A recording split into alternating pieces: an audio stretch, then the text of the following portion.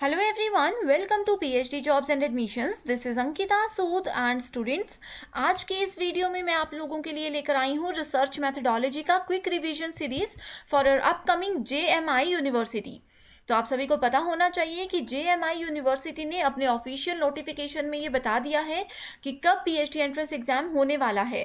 सो so finally ये exam twenty seventh May को होने वाला है एंड आप लोगों के एडमिट कार्ड जो है वो नाइनटीन मे को रिलीज़ कर दिए जाएँगे। तो अभी आप लोगों के पास लगभग दस दिन बाकी हैं। सो इन दस दिनों में भी आप लोग पीएचडी एंट्रेंस एग्ज़ाम को ईजिली क्वालिफाई कर सकते हो अगर आप हमारे ये क्विक रिविजन सीरीज़ को अच्छे से फॉलो करते हो।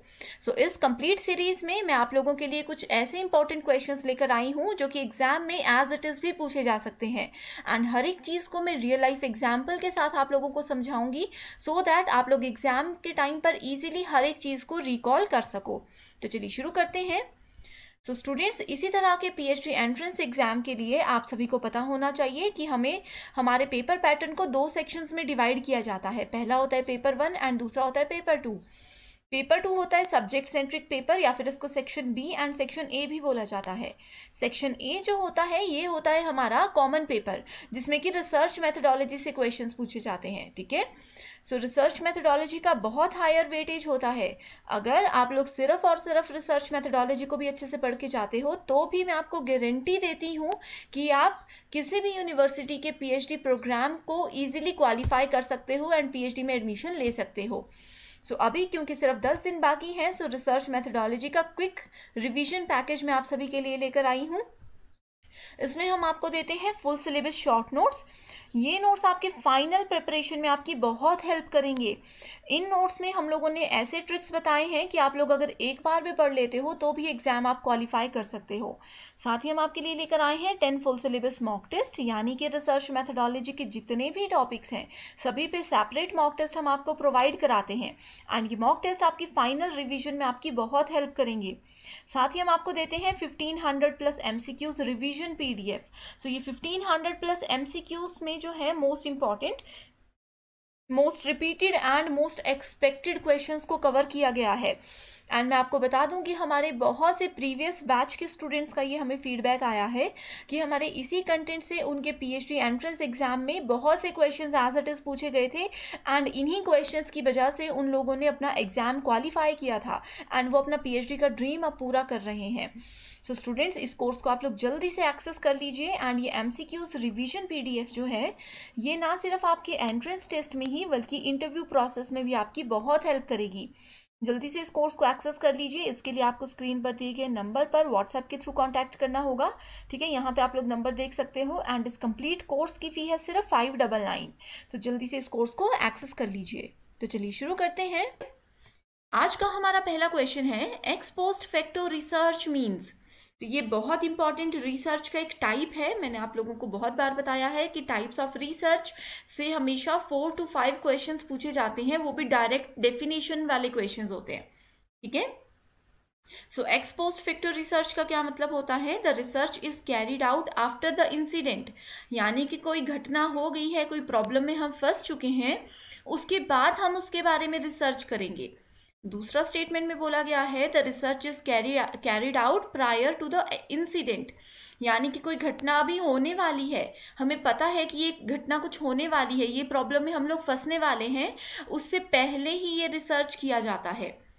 तीसरा ऑप्शन बोलता है the research is carried out along with the happening of the incident यानी कि उस घटना के घटित होने के साथ साथ ही इस रिसर्च को, अनुसंधान को किया जाता है। लास्ट ऑप्शन है the research is carried out keeping in mind the possibilities of an incident so ये जो जो भी इस घटना के पॉसिबिलिटीज हैं, जो भी संभावनाएँ हैं, उनको ध्यान में रखते हुए पहले से ही रिसर्च कर दी जाती है। ठीक है सो बहुत ही इजी क्वेश्चन है। पोस्ट का मतलब और प्री का मतलब आई होप आप लोगों को पता होगा। प्री का मतलब होता है पहले पोस्ट का मतलब होता है बाद में। ठीक है? अगर आपको ये मीनिंग पता है तो आप लोग विद इन अ सेकेंड इसका आंसर दे सकते थे। बाद में का मतलब है कि कोई फैक्ट हो गया है, ठीक है? कोई इंसिडेंट हो गया है, उसके बाद हम लोग उस पर रिसर्च करेंगे। That is called ex post facto research तो बस इतनी सी बात आप लोगों ने याद रखनी है कि घटना के बाद अनुसंधान जो किया जाता है, उसको एज एक्सपोज फैक्टो रिसर्च बोला जाता है। नेक्स्ट क्वेश्चन है which one of the following belongs to the category of good research ethics so यहाँ पे कुछ ऑप्शंस हैं तो इसमें से कौन से अच्छी अनुसंधान नैतिकता की श्रेणी में आते हैं? पहली स्टेटमेंट है publishing the same paper in two research journals without telling the editor यानी कि किसी प्रॉब्लम का सॉल्यूशन हमने लिया एंड दोनों ही बुक्स में सेम सॉल्यूशन दे दिया। ठीक है, दोनों ही अपनी पब्लिकेशंस में सेम हमने आंसर वहाँ पे दे दिया। विदाउट टेलिंग द एडिटर दूसरा ऑप्शन बोलता है conducting a review of the literature that acknowledges the contributions to of other people in the relevant field or relevant prior work ठीक है? यानी कि अगर हम लोग किसी वर्क पे किसी भी फ़ील्ड में रिसर्च कर रहे हैं एंड हमें पता है कि इस फ़ील्ड में पहले भी रिसर्च हो चुकी है तो हम उनके कंट्रीब्यूशन को ले सकते हैं। उन्होंने जो रिजल्ट्स फाइंड आउट किए थे, उनको यूज़ कर सकते हैं।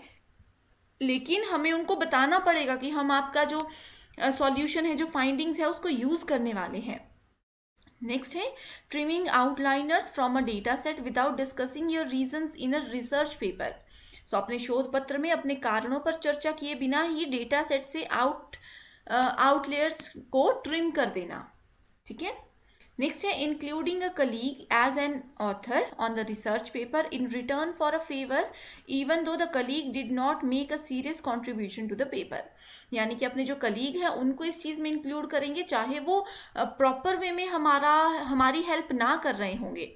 तो ये बहुत इजी क्वेश्चन है कि रिसर्च एथिक्स यानी कि रिसर्च की जो नैतिकताएँ हैं, वो हमें बोलती है कि जब भी हम किसी पर्टिकुलर ऑथर की पहले के काम की अगर मतलब उसको यूज़ कर रहे हैं, उनकी फाइंडिंग्स को अपने काम में यूज़ करने वाले हैं तो हमें वहाँ पे उनको एक्नॉलेज करना ही चाहिए। उनका नाम मेंशन करना ही चाहिए कि हम इनकी हेल्प से इस काम को कर रहे हैं, ठीक है?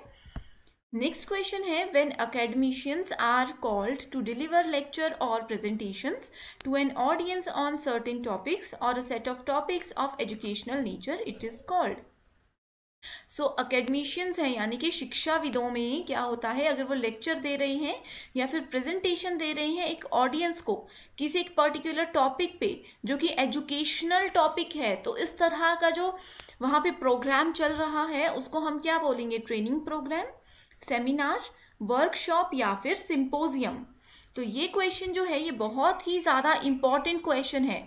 ठीक है? ये जो ऑप्शंस हैं, ये मैं आपको एक्सप्लेन करूँगी। यहाँ से दो क्वेश्चन तो आप लोग पक्का लेकर चलिए कि एग्ज़ाम में आएँगे ही आएँगे। ठीक है माइनर से डिफरेंसेस है सब में। तो so, इसका तो राइट right आंसर है हमारे पास option number two that is seminar ठीक है? तो सेमिनार होता क्या है? सबसे पहले ये पता होना चाहिए। ठीक है? सो सेमिनार और वर्कशॉप में डिफरेंस होता है मैं उसी के थ्रू बताने की कोशिश करती हूँ। ठीक है? Seminar tends to be held within one institution or university so so, अगर हम लोग किसी एक यूनिवर्सिटी या फिर किसी एक इंस्टीट्यूशन में जा कर के लेक्चर देते हैं किसी चीज़ के बारे में बताते हैं तो वो आता है सेमिनार की कैटेगरी में। ठीक है? एंड सेमिनार में क्या होता है? स्मॉल ग्रुप्स होते हैं लोगों के। जैसे बच्चों के स्मॉल ग्रुप्स होंगे फिफ्टी टू हंड्रेड स्टूडेंट्स हो सकते हैं मान लीजिए। ठीक है? एंड क्या होता है? जैसे कि फिफ्टी टू हंड्रेड भी शायद मैंने ज़्यादा बोल दिया। अगर हम लेकर चले टेन टू ट्वेंटी स्टूडेंट्स यहाँ पे होंगे तो वो सेमिनार की कैटेगरी में आएगा। ठीक है? वहीं दूसरी तरफ़ क्या होता है? सेमिनार हमारे लेस फॉर्मल होते हैं कम फॉर्मली स्ट्रक्चर्ड होते हैं देन कॉन्फ्रेंस ठीक है? अब बात करते हैं यहाँ पे वर्कशॉप की. सो so, वर्कशॉप क्या होता है? एक मीटिंग होती है जहाँ पे लोगों का एक ग्रुप होता है जो कि किसी चीज़ के बारे में सीखने के लिए आए होते हैं through intensive discussion and activities related to it ठीक है? सो वर्कशॉप में वो पूरा रियल लाइफ में बताते हैं कि ये चीज़ कैसे काम करेगी. ठीक है? जैसे कि मान लीजिए कि मैं देखना चाहती हूँ कि एग्जैक्टली exactly कार्स कैसे बनती है कार्स के इंजन्स कैसे बनते हैं, मैं ये देखना चाहती हूँ। तो मैं इस तरह की वर्कशॉप में हम लोगों को ये प्रॉपर चीज़ें सिखाई जाएँगी। हम लोगों को ये हो सकता है कि किसी फैक्ट्री में किसी इस ऐसी जगह में ले जाया जाए जहाँ पर हमें सामने बैठ दिखाया जाएगा कि ये देखो किस तरह से असेंबल किया जाता है हर एक चीज़ को। ठीक है? सो वर्कशॉप भी ज़्यादा फॉर्मल नहीं होते हैं। सेमिनार क्या होते हैं? एक बार मैं फिर से बताती हूँ कि सेमिनार एक फॉर्म होते हैं अकेडमिक इंस्ट्रक्शन के। ठीक है? इसमें क्या होता है? प्रोफेशनल ऑर्गेनाइजेशन होती है, कोई इंस्टीट्यूशन होता है। बस ये याद रख लीजिए, किसी इंस्टीट्यूशन किसी यूनिवर्सिटी के अंदर थोड़े से लोगों में जो चीज़ होती है, थोड़े से लोगों के बीच में जो इन्फॉर्मेशन शेयर की जाती है, वो सेमिनार होता है। ठीक है? नेक्स्ट आता है सिंपोजियम तो सिंपोजियम एक मीटिंग होती है, जिसमें नंबर ऑफ़ एक्सपर्ट्स आते हैं। बहुत सारे एक्सपर्ट्स इसमें पार्टिसिपेट करते हैं, ये डिफरेंट डिफरेंट फील्ड्स के होते हैं। एंड ये एक पर्टिकुलर सब्जेक्ट पे डिस्कशन करने के लिए आते हैं। एंड सिंपोजियम में क्योंकि बहुत सारे एक्सपर्ट्स हैं तो ये होता है फॉर्मल इन नेचर बहुत सीरियस टाइप की चीज़ होती है ये। ठीक है? इसमें कोई भी प्रैक्टिकल एक्टिविटी नहीं होती है, बस वो एक किसी टॉपिक पे डिस्कशन करते हैं सो so दैट उस चीज़ का सॉल्यूशन उनको मिल जाए। ठीक है? ट्रेनिंग होती है किसी पर्सन को सिखाना। अब जैसे मान लीजिए मैं आप लोगों को टीचिंग ट्रेनिंग सिखा रही हूँ कि ऑनलाइन कैसे पढ़ाना है तो मैं आप लोगों को सामने बिठा दूँगी एक एक चीज़ एक्सप्लेन करूँगी एंड देन आपको आइडिया हो जाएगा। ठीक है? इसके साथ एक और टर्म होती है जिसका नाम है कॉन्फ्रेंस तो ये भी बहुत इंपॉर्टेंट है, ठीक है? सो कॉन्फ्रेंस एक फॉर्मल मीटिंग होती है बहुत सारे लोगों की, जिसमें उन सब का कॉमन इंटरेस्ट होता है। सब लोग किसी डिस्कशन में पार्टिसिपेट करते हैं, ठीक है? वो किसी चीज़ का कंक्लूजन निकालने के लिए वहाँ पे बैठे होते हैं। जैसे ऑफ़िस वगैरह होते हैं वहाँ पे कॉन्फ्रेंस रूम्स होते हैं कॉन्फ्रेंसेज होती हैं। बहुत से लोग बैठ के किसी प्रॉब्लम के बारे में सॉल्यूशन ढूंढते हैं ठीक है? सो so, यहाँ पे आप लोगों को पता होना चाहिए कि क्वेश्चन में जो जैसे पूछा गया है लेक्चर देते हैं प्रेजेंटेशन देते हैं एजुकेशनल नेचर है तो वो सेमिनार ही हो सकता है। नेक्स्ट क्वेश्चन है identify the correct sequence of research steps तो रिसर्च करने के कुछ स्टेप्स होते हैं जो कि मैंने एक सेपरेट वीडियो इस पर बनाई है। आप लोग उसको ज़रूर देखिएगा। सिलेक्शन ऑफ़ टॉपिक तो क्या होना चाहिए? सबसे पहले हमें टॉपिक सेलेक्ट करना होगा। रिव्यू ऑफ़ लिटरेचर यानी कि किसी ने उसके बारे में पहले से कुछ लिखा है, उसको देखना होगा। Data collection then interpretation of findings यानी कि अपनी जो फाइंडिंग्स है, उसकी व्याख्या करना। Review of literature selection of topic data collection interpretation of the findings ठीक है? सिलेक्शन ऑफ़ टॉपिक तो सबसे पहले तो मैं आप लोगों को बता दूँ कि ये वाला ऑप्शन हमारा गलत है। लिटरेचर ही पहले कैसे देख लेंगे? हम कौन सा लिटरेचर देखेंगे? दुनिया भर के लिटरेचर अवेलेबल हैं। तो सबसे पहले तो हमें सिलेक्शन ऑफ़ टॉपिक करना है। तो तीनों में सिलेक्शन ऑफ़ टॉपिक जो है फ़र्स्ट ऑप्शन है। टॉपिक सेलेक्ट करने के बाद हम लोग रिव्यू करते हैं लिटरेचर को। ठीक है? सो ये वाला ऑप्शन भी हमारा यहाँ पे गलत हो जाएगा। क्योंकि यहाँ पे भी है रिव्यू ऑफ़ लिटरेचर ठीक है? अब हमने पुराने लिटरेचर को देख लिया कि उन्होंने क्या क्या काम किए थे इसमें। अब हम उसी के बेसिस पे डेटा कलेक्शन का प्रोसेस शुरू कर देंगे। एंड डेटा कलेक्शन के बाद जो भी हम लोगों ने सॉल्यूशन उस चीज़ का ढूंढा है, जो भी हमारी फाइंडिंग्स है, उसकी हम व्याख्या करेंगे, उसको हम इंटरप्रेट करेंगे। सो राइट आंसर है option number one and students मैं आपको बता दूँ कि जो रिसर्च स्टेप्स है, आप बोलोगे कि मैम, इतनी बार रिसर्च स्टेप के क्वेश्चन पूछे, लेकिन हर बार ऑप्शंस डिफरेंट होते हैं। चीज़ वही है, सिर्फ़ इसकी लैंग्वेज थोड़ी सी चेंज कर दी जाती है। ठीक है? नेक्स्ट क्वेश्चन है a working hypothesis is so hypothesis परिकल्पना, एक वर्किंग हाइपोथेसिस क्या होता है? Proven hypothesis for an argument यानी कि किसी आर्ग्यूमेंट पे हम जो अनुमान लगा रहे थे, उसको प्रूव कर दिया गया तो क्या उसको हम वर्किंग हाइपोथेसिस बोलेंगे? दूसरा है not required to be tested एक ऐसा हाइपोथेसिस, जिसको टेस्ट करने की ज़रूरत नहीं होती है। नेक्स्ट है a provisionally accepted hypothesis for further research यानी कि आगे जो भी हम लोग रिसर्च करने वाले हैं, उसके लिए इसको प्रोविजनली अभी हमने क्या किया है, स्वीकृति दे दी है। अस्थाई रूप से उसको स्वीकृति दे दी है एक्सेप्ट कर लिया है। या फिर हाइपोथेसिस एक साइंटिफिक थ्योरी होती है।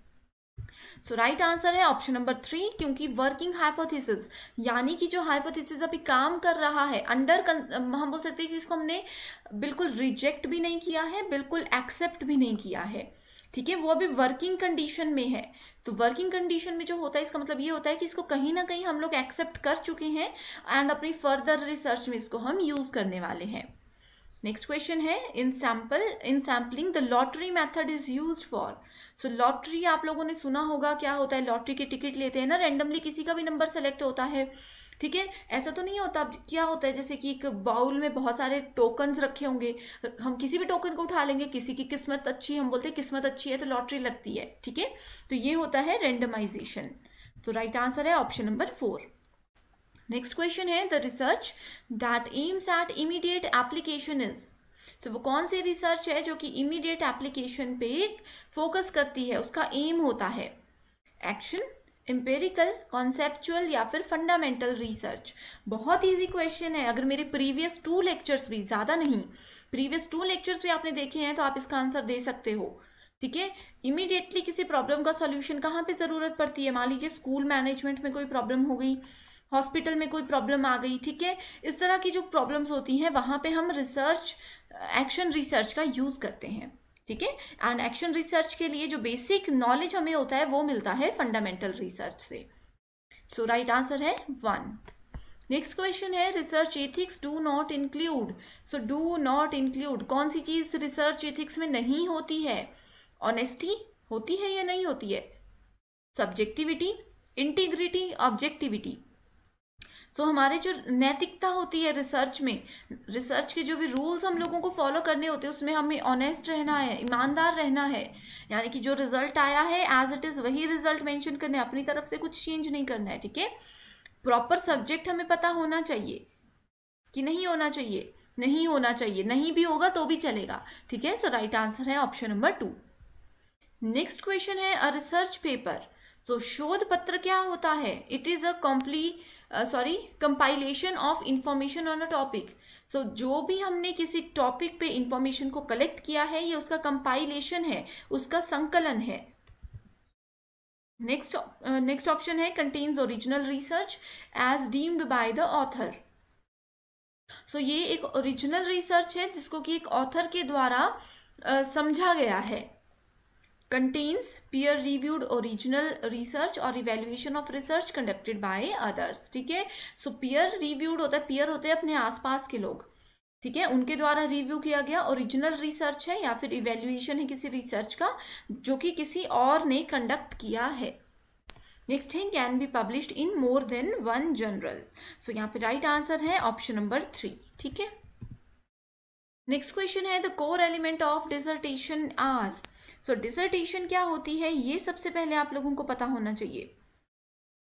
Uh, उसके बाद इसके एलिमेंट की बात करते हैं ठीक है? सो डिसर्टेशन या फिर इसको हम थीसिस भी बोलते हैं ये एक long piece of academic writing होता है जिसमें कि हम अपने ओरिजिनल रिसर्च के बारे में लिखते हैं सबमिट करवाते हैं कि क्या हमने कैसे उसको सबमिट किया। एक समझ लो कि इसका एक प्रॉपर स्ट्रक्चर हम लोग यहाँ पे एंटर करते हैं ठीक है? सो so, इसका कोर एलिमेंट होता है ऑप्शन नंबर फोर की इंट्रोडक्शन आता है उसके बाद लिटरेचर रिव्यू आता है। फिर research methodology then result then discussion and conclusion तो हमेशा याद रखिए कहीं पे भी अगर आ, कोई भी ऑप्शन है आप लोगों को आइडिया नहीं लग पा रहा अगर सबसे पहले तो इंट्रोडक्शन ही आएगी। सिर्फ़ इंट्रोडक्शन लिखा है तो भी ठीक है अगर इंट्रोडक्शन टू प्रॉब्लम लिखा है तो भी ठीक है। एंड सबसे लास्ट में हमेशा डिस्कशन एंड कंक्लूजन ही आते हैं राइट right? नेक्स्ट है what is a research design so research design क्या है? A way of conducting research that is not grounded in theory the choice between using qualitative and quantitative method the style in which you present your research findings जैसे कि graph यहाँ पे example दिया गया है। या फिर एक फ्रेमवर्क है for every stage of collection and analysis of data तो रिसर्च डिज़ाइन में हमने जो भी डेटा कलेक्ट किया है, जो भी हमने एनालिसिस किया है किसी प्रॉब्लम के बारे में, उसका एक फ्रेमवर्क हम लोग देते हैं। हर एक स्टेज वाइज स्टेज हम यहाँ पे काम करते हैं। So option number four here is the right answer next question है sampling cases so sampling cases क्या होता है? Sampling using a sampling frame identifying people who are suitable for research यानी कि अपने रिसर्च के लिए कौन से लोग सुटेबल है, जो कि उपयुक्त हैं। Literally, the researcher's briefcase. Sampling of people newspaper television programmes etcetera so यहाँ पे हमारा राइट right आंसर है option number four that is sampling में आता है, लोगों को सैंपल करना न्यूज़पेपर को टेलीविज़न प्रोग्राम्स इन सभी को हम सैंपल कर सकते हैं, ठीक है? नेक्स्ट क्वेश्चन है sampling error decreases with the ये क्वेश्चन मैंने प्रीवियस लेक्चर में भी ऐड किया था, जो हमारी बेसिक एमसीक्यू सीरीज़ थी। तो सैम्पलिंग एरर में क्या होता है? When increase in sample size तो जैसे जैसे हम लोग सैंपल के साइज़ को इंक्रीज करते जाते हैं, हमारे सैम्पलिंग का एरर जो है वो कम होता जाता है। ठीक है? नेक्स्ट है which one of the following is a non probability sampling last lecture में मैं आप लोगों के लिए प्रोबेबिलिटी सैम्पलिंग का एक एग्ज़ाम्पल लेकर आई थी। ठीक है? वहाँ पे मैंने बोला था not a probability sampling not यानी कि जो प्रोबेबिलिटी सैम्पलिंग नहीं है, इसका मतलब ये है कि वो नॉन प्रोबेबिलिटी सैम्पलिंग होगा कंफ्यूज नहीं होना है, ठीक है? सो राइट आंसर है ऑप्शन नंबर टू तो यहाँ पे मैं आज आप लोगों को एक होमवर्क देती हूँ, वो ये है कि आपने, अब मुझे, मैंने बहुत बार ये चीज़ें बता दी है चीटिंग आप लोग बिल्कुल भी नहीं करोगे कमेंट करके मुझे बताओगे कि नॉन प्रोबेबिलिटी के कितने टाइप्स होते हैं, उन सबका नाम बताओगे एंड प्रोबेबिलिटी सैम्पलिंग के कितने टाइप्स होते हैं एंड उनका नाम बताओगे। ठीक है? सो यहाँ से भी आप लोगों को आइडिया लग जाएगा। चार नाम तो यहीं पे मेंशन है, उसमें से एक है नॉन प्रोबेबिलिटी इसका मतलब है कि बाकी के तीन क्या है? प्रोबेबिलिटी है। तो एक आपको प्रोबेबिलिटी का नाम ढूंढना है, बाकी के नॉन प्रोबेबिलिटी तो जल्दी से इसका आंसर आप लोग मुझे दे दीजिए, इससे आप लोगों को एक आइडिया हो जाएगा कि हमें नॉलेज है या नहीं है। ठीक है? एंड अगर आपको नहीं पता इसका आंसर मेरे प्रीवियस लेक्चर में जाइए सैम्पलिंग वाले लेक्चर में जाइए, इस चीज़ को समझ लीजिए, याद कर लीजिए। एंड देन कमेंट करके मुझे आंसर दीजिए, मुझे आंसर चाहिए ही चाहिए। इससे क्या होगा? मैं क्यों बोल रही हूँ कि जा करके इसको पढ़िए? क्योंकि पेपर में जब ये क्वेश्चन एज इट इज़ आएगा ना तो आप लोग बोलोगे कि यस मैम आपने हमें बोला था ये देखने के लिए। तो आपने इजीली आंसर दे दिया होगा, ठीक है? नेक्स्ट क्वेश्चन है the principles of fundamental research are use in तो फंडामेंटल रिसर्च का जो बेसिक प्रिंसिपल होता है, उसको हम कहाँ यूज़ करते हैं? ये मैं आप लोगों को बता चुकी हूँ बार बार ये क्वेश्चन बार बार आता ही आता है। डिफरेंट वेज में आएगा।